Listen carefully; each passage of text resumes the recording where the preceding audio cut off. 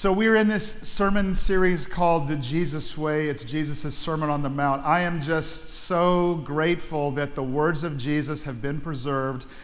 The sermon that he gave that defines the whole way to have a relationship with the Father. And we have that, and we get to hear it, and we get to, to, to take it apart and understand that his way of approaching God is so completely different than the way of religion. That God doesn't want you just to have religion. In fact, you don't need a church, you don't need religion, you need a real relationship with God. And so the Sermon on the Mount is Jesus' vision of what life is supposed to be like. I believe with all of my heart that what religion does is it reduces something that's so beautiful and turns it into something mechanical where we're so worried about all the time here's what I got to do and here's how I have to behave and we get caught up with the rules and the regulations of it and we miss the whole heart of God. So, the Sermon on the Mount, I, I can't I can't retrace everything that we've done, but we've come to the middle part of it. And in your message notes, if you'll pull that out, I actually gave you the entire first half of the Sermon on the Mount on one page. It's like a little review, which I'm not going to preach today, but if you'll give me three minutes, I will just help you. For those of you who are just coming on board, let me give you an overview of Jesus' Sermon on the Mount, where he, he sees the crowd coming, and immediately he says, We have to climb higher. The crowd won't climb, but disciples will. And what I've been begging you to do is if only, I can't make you do this. I'm just a pastor. I have no authority over your life. But if I could just say, would you climb higher? Would you elevate? Will you separate from just the way the crowd does things and just try to get a little closer to Him? And if you would, if you'd follow, Jesus will sit down with you and He'll explain His way. So there are nine beatitudes that he begins with. Beatitudes, nine, nine ways of the heart. If you focus on behavior, you'll miss the point. He says, if your heart's not right, nothing will be right. So in Matthew chapter 5, verses 3 through 12, he gives nine beatitudes in three sets of three, and they go like this Blessed are the poor in spirit, for theirs is the kingdom of heaven. In other words, I bless people who realize they need God. And blessed are those who mourn, who look at the world and go, something's got to change. None of this is working. And then their humility of the meek who say, wait, it's not the world that needs to change. I need to change. Then the next three. I, I bless people who hunger and thirst after God with all of their heart. He's not looking for people to add a little religion, but people who go after God with their whole heart. Which, by the way, if you do for one year, you will not recognize yourself a year from now. Just go all in. But the problem with going all in is that it can very easily turn you into a self righteous person. Like, I don't know what all these other people's problem are, but look at how good I am now. And self righteousness is very ugly. So that's why he says you got to remember the mercy that you received. And the mercy you needed, that's what you have to give. And God says, I bless the pure in heart, people that have, they've given up on the hypocrisy of pretending that they've got it all together, but they're still in need of God. Then the third triad, which is I bless people who work for peace. This whole world is tearing people apart, polarizing people, dividing people. So I bless the people who actively work for peace, even when it costs them something, even when they're persecuted. And when they're persecuted, I bless people who choose joy no matter what. And then he moves into the next part of the sermon, which is I bless the people who realize that they're not here to consume, just be here for themselves. I bless people who will be salt and light like you're not just here for yourself. The church's mission is to impact the community and make a difference in the hurting of people. That's what Serve Day is all about. If we don't help people, if we don't serve people, if we don't make a difference, we've missed the point. And then he says about the past and about the Bible don't think that I came to abolish the Old Testament or the Bible. I didn't come to abolish the law, I came to fulfill it. And that's a whole message all in itself you'll have to go back and listen to. Then he switches and moves into the way we treat other people, our relationship with others, our relationship with our own heart, with our anger, with our lust, with, with the, the people in our lives, the, the enemies that we have, how we're supposed to go the extra mile and turn the other cheek and pray for our enemies, and challenging messages. I mean, if you think that Christianity is like just, just accept Jesus in your heart so you can go to heaven when you die, that's some version of what is being expressed today that has nothing to do with the way of Jesus. His way is so much more elevated. In fact, once you realize that the goal, this is where Jesus summarizes his first, really 27 things that he said in the Sermon on the Mount. He says, Here's the whole goal of life be perfect as my Father in heaven is perfect.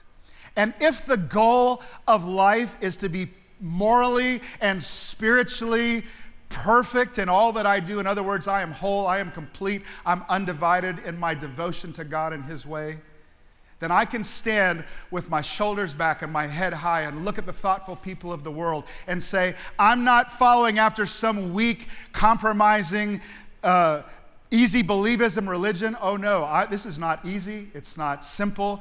It's not trite. This is something worth going after my whole life to pursue. No other system in the world demands that I should be perfect as my Father in heaven is perfect. So, having said this, where Jesus says to be perfect means to be undividedly all in with God with all of his attributes, all of us say, well, who in the world can do that? I'm so glad Jesus did not end the message right here with be perfect as your Father in heaven is perfect. All right, let's go to lunch. Don't you hate sermons that tell you what to do, but not how to do it? I used to hate that as a kid. Pastors would preach these sermons and they would say, You got to do this. And I'd be like, Okay, well, yes, but how? I didn't know what to do, and I was frustrated. And Jesus does not frustrate. He's, he's, everything he said, he's laid out the vision of the life God wants. But now he moves into the practical part where he's going to say, and here's why this doesn't happen in people's lives. Of course, you can't be perfect. Because there are nine bad attitudes that are built into the heart. You didn't know this. There's not just nine beatitudes, there are nine bad attitudes that Jesus reveals in the coming verses, all the way through the first six verses of chapter 7, where he says, Here's why this doesn't take root in your life. Religion can't, can't accomplish these, these these things. You, you, there's things going on in the heart that resist the way of Jesus. So Jesus is going to take some time and break it down. Actually, they come in sets of three, just like the Beatitudes.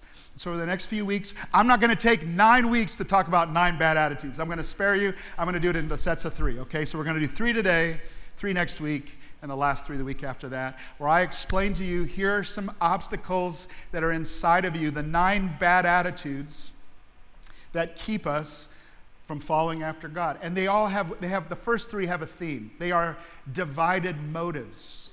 Because if the goal of Jesus is, is to make us whole and complete and, and no, nothing fake about us, then there are some things inside of us that are pulling against being whole. Like on one hand, do you remember the, the, the first, the first beatitude is Blessed are those who recognize their need for God. All right? Well, here we go. I almost, I'm laughing already. Take heed that you don't do your good deeds, your religion, your charitable acts before others to be seen by them. It's like he wrote this for 2023. This is the whole world today. It's about, I don't, if it, if it actually, if it isn't seen by others, did it really even happen? If it's not on threads, I mean, is it even real? Is it not on social media? Is it, did, it, did it occur? And we're living our lives to show people what we're doing. And Jesus says that, that thing that's inside of you, like, do you really want to give and do good because you want to get close to God? Do you need God? Or are you just trying to look good for other people? If, if you're just doing stuff to be seen by others, you will have no reward from your Father in heaven. Let me draw out that little phrase to be seen by them. I see three people at, at work in the world today, and the first one is the selfie Samaritan. the selfie Samaritan. Like, I'm, I'm, I'm doing good, but I got to have you all know that I'm doing good. And I'm posting about it. And I'm, it happened this week. I don't know if you saw this, but it blew up TikTok where this, this woman in Australia, it's a bizarre video where she is cleaning a beach and it's filled with trash. And so she's walking with these big trash bags, and she has her little media crew filming her while she fills the bag, giving an Oscar worthy performance because what she doesn't know is there's a regular person just on the beach going, Look at this. And that person's filming it, and he's giving this little commentary like it's not even windy out here. And she's like pushing against the wind. And she's like struggling with the wind but she's filling up those bags. And then when she gets a few bags done she does a little victory dance like look at me i've done good for the world. And then they stop filming and then they leave all the trash bags on the beach. And the dude is like hey i've been watching you Why'd you leave the bags? And they just sort of blow him off and keep walking, walking, leaving the bags. Whatever was degradable is now inside of a plastic bag left on the beach. Doesn't that make your blood just boil right there? The selfie Samaritan. You can find it on YouTube yourself. Bizarre. But that's the way people are today. It's like, I, I want to do good, but only if you see me. Are you, is there a little bit of a selfie Samaritan on the inside of you like there is me? Oh the other person is the VIP volunteer. the VIP, y'all like my little alliteration today? The VIP volunteer is the one who shows up to serve, but they didn't really want to serve. They just want to be seen serving. And I expected you to be ready for me. Like, it's hot out here. Did you all bring water for me? Like I, I came, but I expect to be treated a certain way. Like, don't you know I'm serving? Treat me right. Well, yeah, but we're helping poor people. Yes, but it's about me and about who's watching me. There's an attitude. Don't show up at Serve Day and be the VIP volunteer, everybody. That's why I'm saying this today. But you know what I'm talking about the VIP volunteer who, who really thinks it's about them when really they should be just serving others. And then, of course, the third person is the fake philanthropist, which I had to spell that way to work in my, my alliteration. The fake philanthropist who's, who's more interested, you know, in the moment with the big check than they are about actually doing good. And here's the thing we see through all of this now. Like, this used to be something people could pull off, but we see the selfie Samaritan. We see the VIP volunteer. The, the, the Gen Zs are like, we see the fake philanthropist. They're turned off by it, which is why people are so turned off by religion because they see the fake. Aren't you tired of it, everybody? And that's why Jesus is saying, if you try to, you can, it's a good thing to give, but if you try to approach this where, do you really need God or do you really need recognition? And Jesus starts off with if you're going to get involved with following me, with religion, at a certain point, doing good in the world is going to come up. And what's your motive? Motives matter. That's why Jesus goes on to say, therefore, when you do a charitable deed, don't post it on threads. Don't post it on Instagram. Don't, don't sound a trumpet like everybody. However, they do that face. Don't do that. Because the hypocrites are doing that. And they love to stand in the church and in the streets that they may get glory somehow. Stop it. Assuredly, I say to you, whatever reward they got for that, that's it. That's all they got. That's it. God says, there's no reward for you.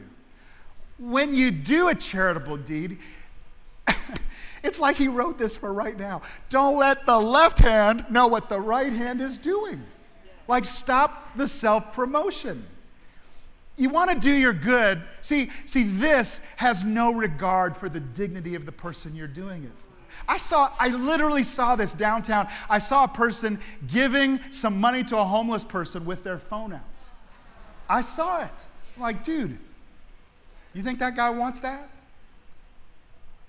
What is, what is going on where we feel like, I want to do good, but I need people to see it? God says, Do this in secret. Your Father sees what you do in secret, and He will reward you openly. This is where Jesus is saying, Okay, how, what is your approach to God?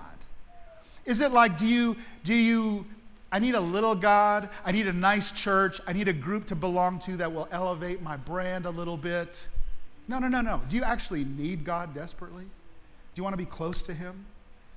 Do you, do you want, are you going to trust Him to reward you? Jesus is going to talk about our relationship with money a lot in the next few verses because money is this God. And he says, You can't serve, you can't serve both. You're going to have to choose who's going to be the master, who's going to take care of you. God blesses the one who says, I desperately need God. And we're going, Yeah, but I'd really like to be recognized for the things that I do. And let me just pause here and just say this. Your, your giving is a reflection of your spiritual maturity, no doubt. He's not, he's not saying that you shouldn't give. You, in fact, it's just expected that giving is what you will do because you're a human being, you're a person that is made in the image of God, who is, by his very nature, a giver. He gives life to us. God so loved the world that he you know this. He, so you're made in his image, so it's in you to be generous. So it's not that you're not going to give. The question is, is what are your, what's your motive for doing it? But you've got to become a giver because if you don't, it, well, well, your giving says something about your spiritual maturity. Now, I try to learn everywhere I go. I go to a church, I see how they're doing things, I watch other leaders, I take pictures, I try to say, I wonder how I could become a better leader myself. This is a picture I took in Chicago at a church that I visited, and it's called Will a Man Rob God? And they had this in the lobby, and they had the non tithers board, and there's the list of all the members.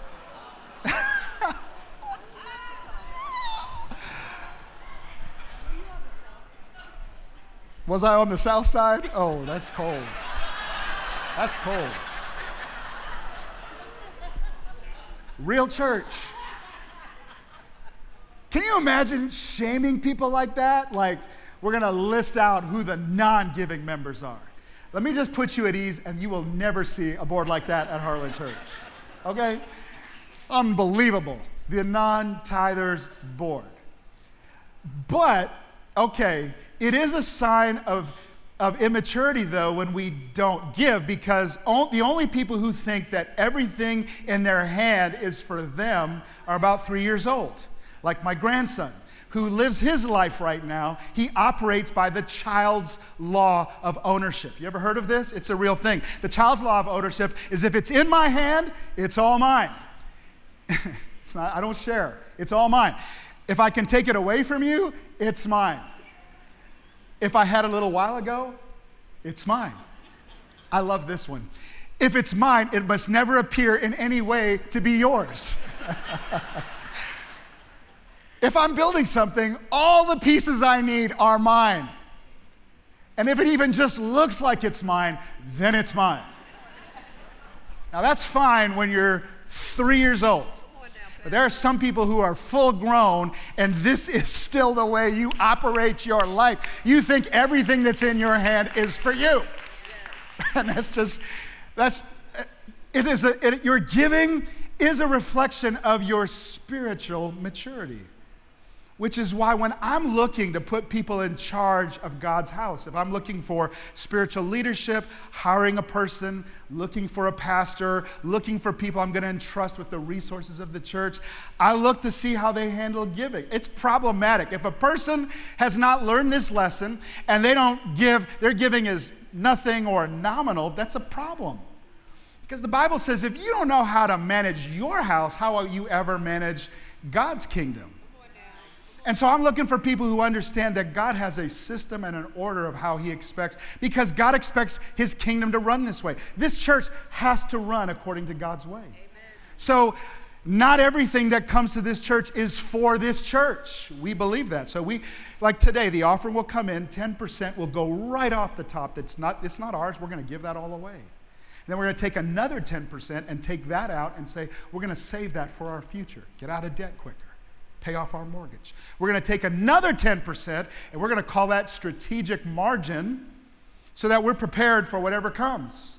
So, in a year like this year, when we built a budget off that 70%, but the church grew 81% this year, and there's 600 new members, and now there's more need and more people coming to us with needs in their lives. We've actually given 14% of our, of our giving away. We, we, we went over in our giving budget because of the needs of people. We weren't freaking out, we had margin. I didn't have to do a fundraiser, do the non tithers board. I didn't have to do I didn't have to resort to none of that stuff that people do. Because when you operate your life, you should live your life that way. If you, if you realize not everything in life is for me, and some of it I'm going to save for my future, and I'm going to live with some margin. I'm not going to commit every dollar that comes in. You would live with so much peace, and you could do what's really in your heart, and you could bless people. You wouldn't have to fake it and show, you know, selfie acts of generosity every once in a while. I really am a giver. You know, you wouldn't have to do that. Let me say it again. Not everything that God brings into your hand is for you.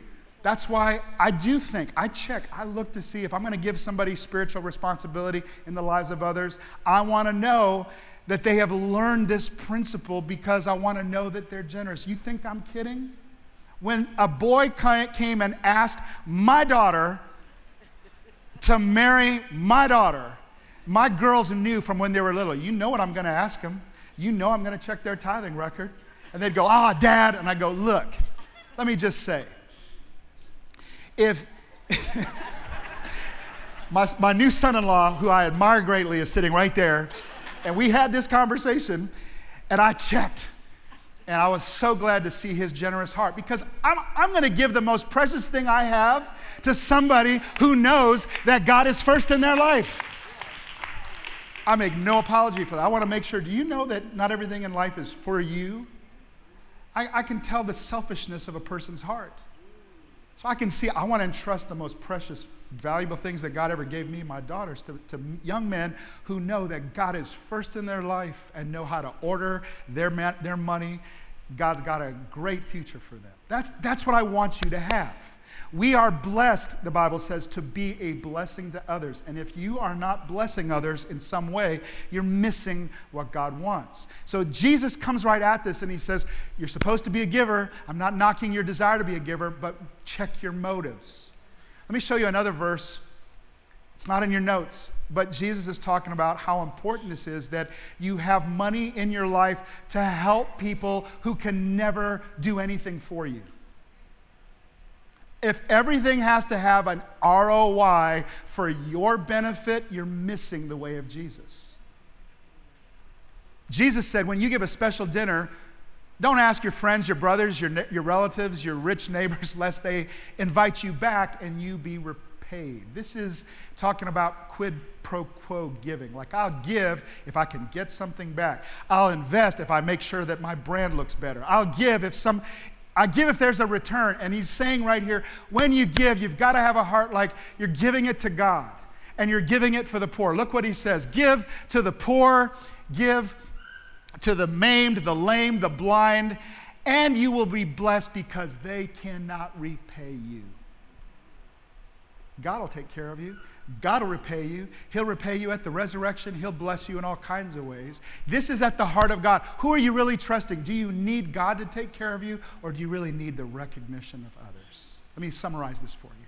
First, first bad attitude is Is my life about selfie generosity or selfless generosity? It's a great motive testing question. So that's the first piece of the divided motives. Then he says a second thing about divided motives. He goes on to talk about prayer. What could be more religious and holy than prayer?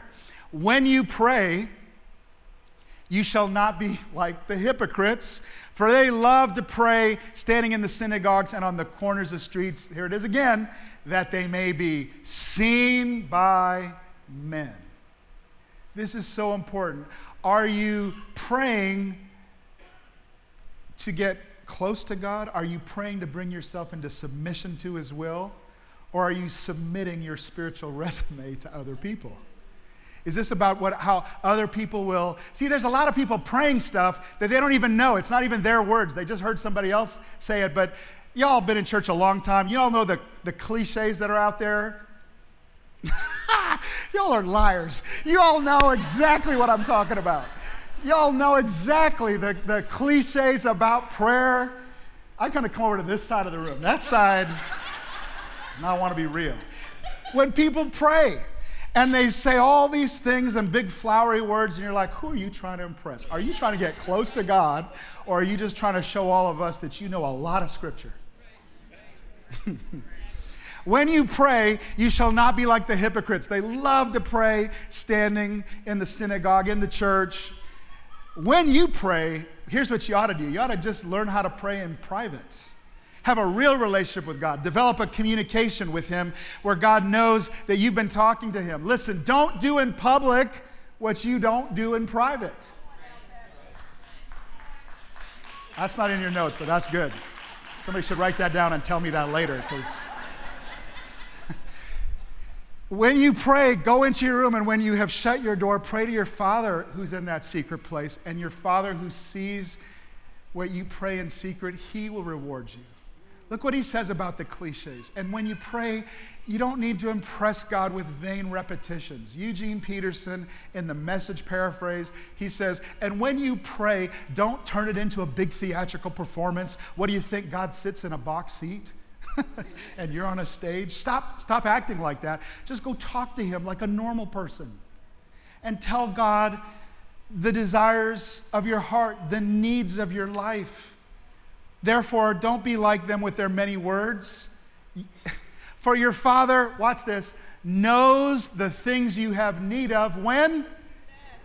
So don't call up God and go, Oh Lord, today I pray for sister so and so who's in the hospital. God's like, Really? What?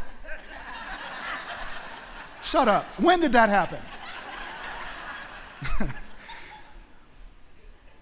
you don't have to, you're not informing God of nothing. He knows. What you ought to do is don't, don't, don't worry, like, is it God's will to heal? I don't even concern myself with that. I just go, God, I pray for the healing. I, I pray my desires. I bring my needs. I know God's going to do what He's going to do. He's the Lord. He knows what to do with, but I'm going to bring him the honest, sincere desires of my heart, like he's my father and I'm his child, like he's my father and I'm his beloved son. This whole thing, Jesus is saying, stop trying to do religion and come with me, climb higher, elevate, get close to me. Therefore, he says, pray like this. And then he goes into the Lord's Prayer, which I don't have time to teach you today, but I'm going to come back at the start of the 21 days of prayer. And I'm going to teach you how to pray powerful prayers that move the heart of God. Not pompous prayers that people pray for the benefit of other people. So, this is the question, this is the summary that you want to fill in your notes here. Is prayer just about being a pompous, you know, um, presenter of great words so that others will hear and go, wow, that guy knows how to pray?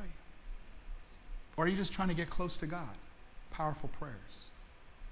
And I'm going to teach you how to do this in the 21 days of prayer. I want you to understand the heart of this. The 21 days of prayer is not a show. It's really, we spend most of the time in private individual prayer, just pr- pr- privately praying. There's a little bit of time when we pray together, but most of the time, I'm bringing you into a practice that I do 365 days of the year. I get up at 6 a.m. and I spend time with the Lord and in His Word, and I, I get close to God. And all I'm doing for 21 days is I'm bringing you into that personal practice. There is nothing like having a real, vibrant relationship with God where He speaks to you at the start of every day. And I want you to join me. I want you to get up, set your alarm, plan, to join me for the 21 days of prayer, and I'm going to teach you how to get close to God. And if you draw close to God, He will draw close to you. So, again, this is not some show. This is actually how can I learn to put a practice in my life? You know what they say? 21 days, new habit will start. So, I want to help get this habit in you of daily private prayer. So he's talked about prayer, he's talked about giving. Let me give you one more. He talks about fasting because prayer and fasting always go together. When you fast, notice he never said if you give and if you pray or if you fast. Did you notice? When you do it, like this is what you're supposed to do, when, when you do these things, don't be like the hypocrites who show up with a sad countenance. What does that mean? Well, you know, I've been fasting for like 40 days. It's been hard. I'm so hungry. But just pray for me. Because I want you to know that I've been fasting. Stop doing stuff like that. Like people who look weary and tired, and how are you doing? Oh, it's been hard. I'm fasting. No, he says, because that's the reward. If that's all you want is for people to feel sorry for you and see what a holy person you are, great, you got it. But he says, if you really want a reward from God, when you when you fast, Anoint your head and wash your face so you do not appear to men. Don't let them even see that you're fasting. Like, get ready and get dressed, put all that on if it takes you 45 minutes, and then walk out.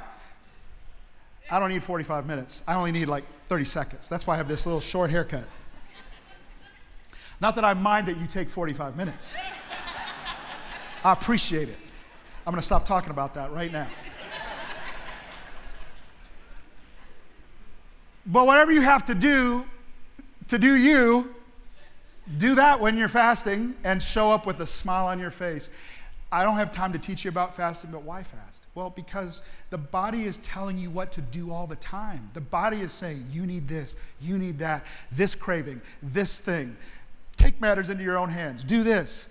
And for a season of time, you're going to say, I'm not listening to what the body says, so I'm going to tackle like even food, I'm going to limit that to humble myself to God so that God can tell me what to do. And just maybe after that 21 days, I don't I can actually live without the body calling the shots and telling me what to do all the time.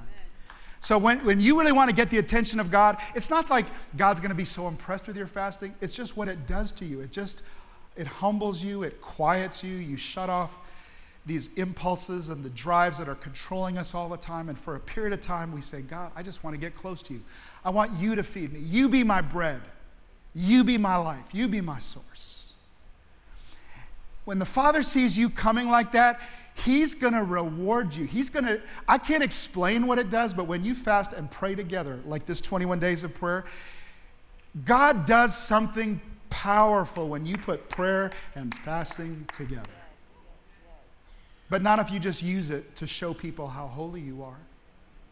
So I would summarize this attitude with this question Are you going after God with your fasting or, or any other act of devotion that would lead you into self righteous religion? Or do you really want a sincere relationship with God? That's what this is all about. The way of Jesus is not religion. Some of you, all you have seen is American, Western Christianity that's got so much religion, so much about do this, don't do that, laws, rules, and none of it is drawing you close to the heart of God.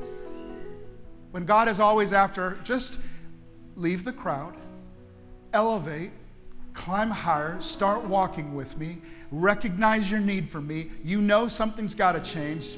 yeah, I need to change. Okay, well, go all in if you would just go all in for a year of your life, you wouldn't recognize yourself. You couldn't even explain how it happened. I don't know. I got close to Jesus and he changed my life. Do you, do you need any more self righteous religion or do you need a real relationship with God? Or let me, let me summarize this whole, these whole three points. Do you recognize your need for God, like you actually need Him? Or are you just living life trying to get other people to see you? Maybe that's what's driving so many people crazy today their sense of insignificance, their need to be on a screen, their need to take a selfie, their need to project. Like, I got there has to be something more than just what I'm experiencing. There is. You need a real relationship with God, and if you would draw close to Him, He'll draw close to you, and He will fill the longings of your soul. He knows how to heal trauma. He knows how to put things back together. He knows how to help you forgive. He knows how to help you uh, soften uh, a hard, hateful spirit. He knows how to change your heart. No religion will ever do that. Some of you desperately need a real relationship with God. And I want to invite you into that. I'm not asking you to join a church or to be more religious, but I wonder if you would just take this journey and just get close to Him. I want to lead you in prayer. Would you just stay still for just a minute? Don't move for a quick second. I want to give people an opportunity to respond to this message. I want to lead you in a prayer, especially for those of you who feel far from God today. Or maybe all you've ever known is just church, religion. You've known about God, but you don't really know Him. Or maybe you did a long time ago, but you've never gotten close to Him before, like I'm talking about. I want to lead you in a prayer. You don't have to join the church or come to the front or do anything. I can pray for you right where you're sitting, but I can't pray this prayer for you. It's a prayer you have to pray for yourself. And so bow your heads, close your eyes all over the room. Let's give people a moment. Do you recognize your need for God today? How many of you would say, I need a real relationship with God? I've, I've never lived with Him, I've turned away from Him. Or maybe I need forgiveness. I, I was close one time, but I've turned away. I need to come back today. How many of you would say, Pastor, that's me? Would you just lift a hand up and say, Pastor, pray for me today? Yes, yes, yes, yes, yes, yes, yes, yes, all the way up in the top, I see. Anywhere else, you just would say, just, just as an act of humility and an act of agreement with the Holy Spirit, just lift your hand up. Yeah, I see you right there. Anybody else? Yes, ma'am, you. Love that. Love it. I'm not in a hurry. Anybody else would just say, I need a real relationship with God. This is for you. Respond today. Lift your hand. Yeah, I see you, sir. Awesome. Yeah, I see you, ma'am. I see you, sir. Here, just say these words. I'll give you some words, but you pray this sincerely from your heart. God, I know that I need you. I know I need you. I'm so sorry for living without you. I'm sorry for trying to do things without you. And I'm sorry for the sins that I've committed and the messes I've made. I'm sorry. Forgive me. Jesus, I believe you are the way, you're the truth, you're the life. And I want to follow you from this day forward. So I invite you to come into my life. Say something like that, like, come into my life, Jesus. I surrender to you. Or maybe say it this way Jesus, I just give you my whole life today. I surrender. Holy Spirit, I pray every person, wherever they're sitting, whoever's watching online, praying in their own living room, touch their soul today. Begin to heal them. You are the restorer, you're the redeemer of things that are messed up. I pray that as they start to follow you and get close to you a year from now, they won't even recognize themselves. And I pray this in Jesus' name. Amen and amen. Come on, everybody. Give God praise today. So beautiful. So proud of you.